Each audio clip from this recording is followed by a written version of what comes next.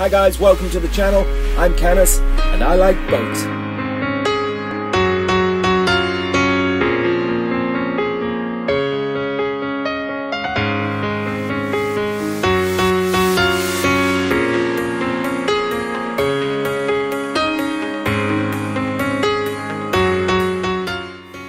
With summer behind us, it's September, and Rob Kabel and Tice the Carpenter have put together a plan to get the mast replaced.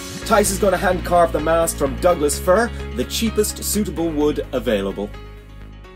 The original mast was hand carved by Rob 30 years ago from Russian larch, but to use Russian larch again would be way too expensive. So Tice spent August looking for the right piece of timber. The wood for the mast is over 16 metres in length, and will cost a lot to have it delivered by road because it would be an extra long load. Thankfully, Tice and Rob organised the wood to be milled at a sawmill Tice works with, The Rat, in IJlst, just outside Sneek. It can be accessed by canal, and we can take to Vrouwe Linda. So the plan is simple go and collect the wood and bring it back. Here's the genius of their plan. I can give them the old mast and they will chop it up into floorboards. Rob decided to come and help me, and off we went. We tied the old mast to the side of the boat in the water, and we towed it along. The journey will take four hours by canal to get to IJlst. The same journey would be 20 minutes by car.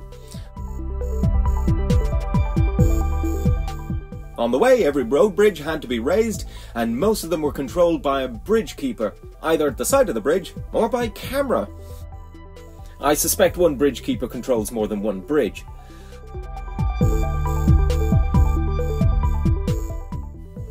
So if they see you coming, they open the bridge, or wave at the camera to alert them to your presence. If you cruise in the Netherlands, the bridges and lockses only operate between certain hours, depending on the season. So that's no cruising at night.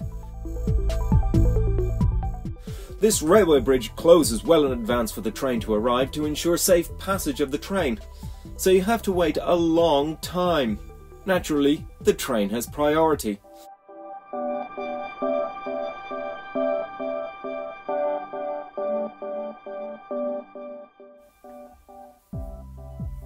We arrived at the Rat. The windmill was originally built in 1711 and was located in Zaanstreek, just outside Amsterdam.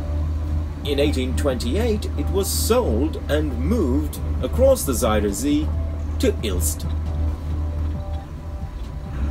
When it was built first, it replaced the work of 25 men. Primarily a sawmill, it also was adapted to mill corn. In the latter half of the 19th century, the Rat was famous for the quality of their wood. In 1918, it was installed with a 30 horsepower electric motor, and by 1920, the sails were removed. But by 1955, the owners had asked permission to demolish the mill. The town examined the proposal, discovered that the building was in reasonable condition, and it could be saved. So in 1956, the following year, the town bought the mill, and finally it opened, fully restored, in 1978. It had major overhauls in 1987, 1996, and 2005.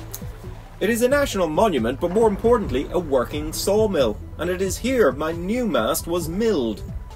And more importantly, my old mast will be milled into floorboards.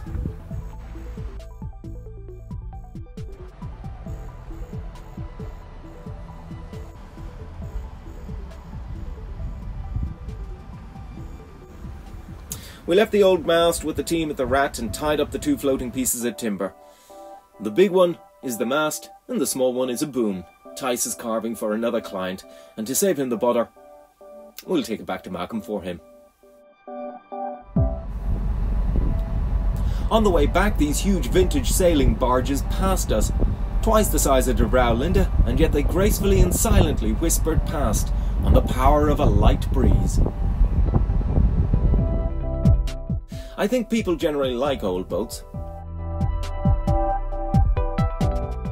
We arrived back in Markham safe and sound, and with the new mast ready for Tice to do his magic. A month later, in October, I got a call to say the floorboards were ready, and I made my trip again to the Rat. But this time, on my own. The team of the Rat were amazing and helped me stack the boards onto De Vrouwe Linda.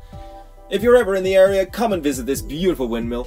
There is a cafe and museum beside uh, the site, and the staff are only too delighted to show you around. As an historic monument, they're maintained by government grant, a small entrance fee, and they still make money charging for their services as a professional sawmill. To have De Vrouwe Linda's Mast start life here is a wonderful continuity. A 110 year old boat and a 309 year old windmill. Oh, it's really working now. Have you understood how this uh, works? The staff encouraged me to make these clips. I wish I'd recorded more video, but hey, when the lockdown ends and travel resumes, I'll go back and do a proper video.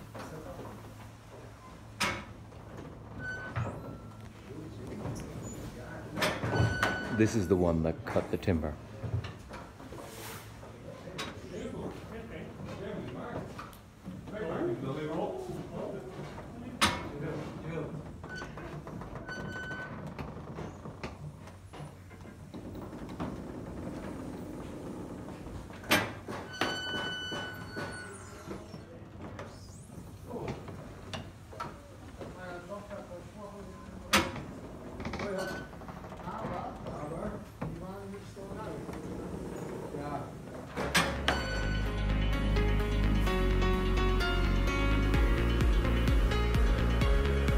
Thank you for watching. Stay tuned for more to come.